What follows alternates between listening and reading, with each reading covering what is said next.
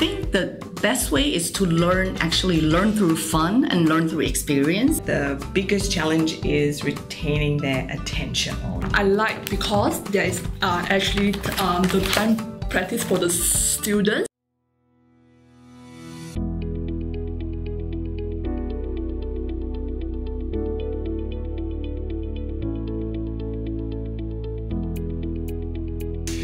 Good afternoon and welcome to Starich Education. So, ladies and gentlemen, I have with me seated beside Miss Ruby. Hi, Ruby. Thank you for joining us on this interview. Uh, could you first tell all our viewers out there who you are, how long you've been teaching, what subjects do you teach? Okay, hi everyone. Hi, I am Ruby and um, I'm teaching English and I have been teaching for the past 25 years. Wow. Yeah, and I love teaching and I love working with kids, especially and uh, parents as well. My name is Elena Fernandez. I've been a teacher and a communicator, a communicator first uh, for the last 30 odd years uh, and uh, 25 actually sorry uh, and um, a teacher since i came to singapore in 2007 Hi, my, my name is Candy. Um, I've been teaching sec- secondary math for about 10 years. They are around Sec 1 to Sec 4, so it's about six, uh,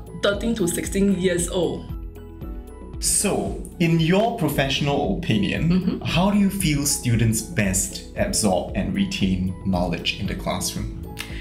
Uh, for me, what I feel really works is having them link the, invita- in the information uh, or any new idea that is um, passed on to them and linking it to something um, like a previous experience, for example, or like if I were to be teaching them uh, expressions or phrases, phrasal verbs, for example. So to link it to a memory that is already established, uh, preferably to something uh, that is. Um, that is of interest to them. So, for example, if I were teaching uh, a 14 year old boy, so I'd have to do research on games that are popular and link it to that. So if I'm teaching prepositions or and you know Minecraft for example would be used. So it's linking eh, I mean in you know we're looking at the structure of the brain where memory is retained is in the hippocampus and if you can find a way to link the information and preferably to a specific location it helps them remember. For example, if I were going to teach phrasal verbs,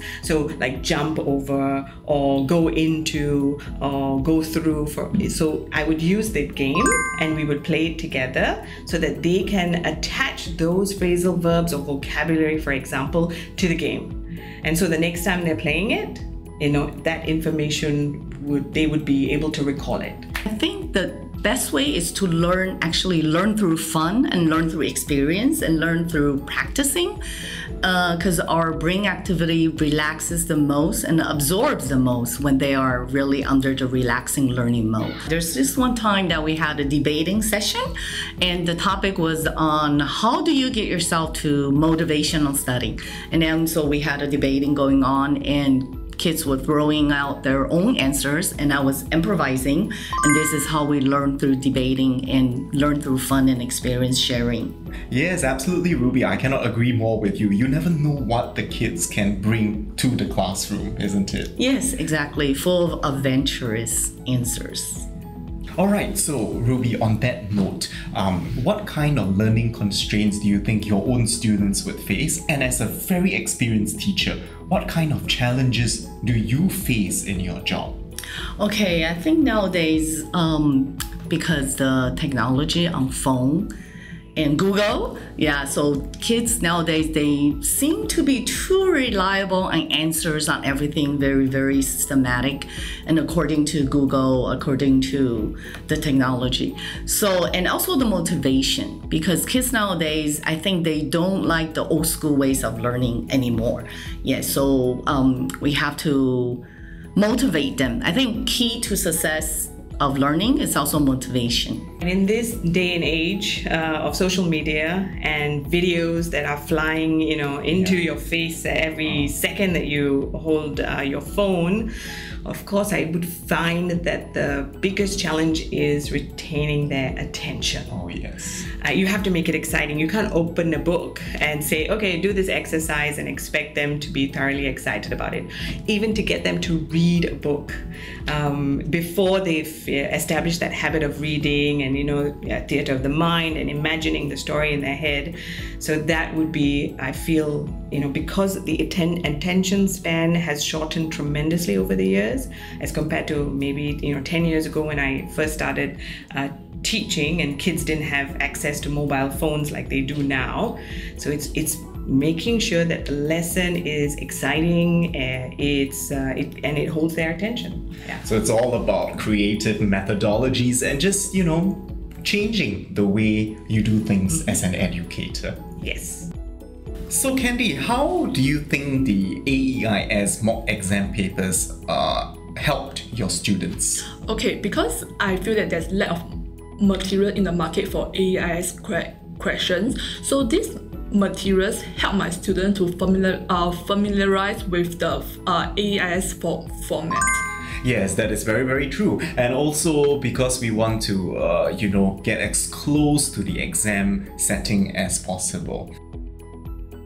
So what specifically do you like about the AEIS mock exam papers in your lessons? Oh, okay. So um, I like because there is uh, actually um, the time practice for the students so we can assess the student per performance and there are also step-by-step -step answers behind so when the student don't un understand about a a question, I can show her that how to deal with the question um, step by step. Yes, that is very, very true. And exactly what Candy is saying, you know, I think the AEIS mock exam papers does give a lot of room for self-directed learning and evaluation.